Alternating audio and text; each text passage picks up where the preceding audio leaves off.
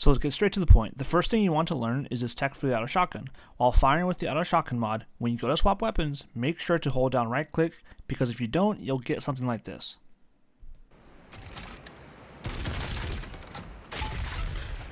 Compared to if you hold down the right click, you'll get something like this.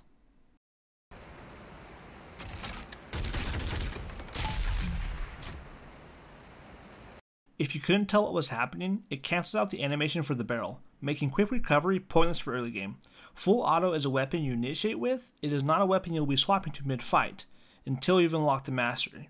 For early game, the only time you'll be swapping to full auto mid-fight is for the shotgun sandwich, which I will explain shortly. Your first upgrades will either be faster transform or fast feet. Honestly, both are fine once you understand their limits. Just remember full auto is a very situational weapon, but once you become more comfortable with it, you will understand when to or not to use it. The philosophy behind full auto is to always combine it with the super shotgun, to open up from afar, finish them up close, and save ammo for other weapons. It is not a necessity, but it makes for a unique playstyle and to me makes the most use for having full auto. Here an example of a common opening.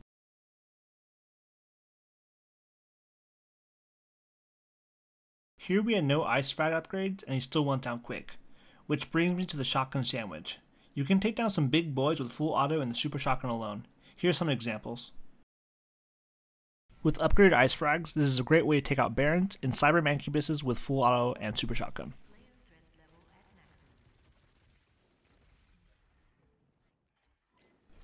Here it is assuming you don't have fast transformation.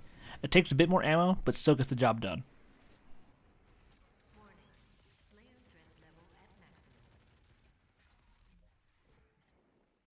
And that's pretty much it. So I'm going to jump forward to show you two fights with Mastery. Make sure to notice how I distance myself with a super shotgun or use other weapons early to assure I finish off my enemy with the full auto, making use of the mastery. Full auto is still the worst weapon in the game in my opinion, but I was excited when I started finally making some use of it. Hope you guys enjoyed the short tutorial and please subscribe.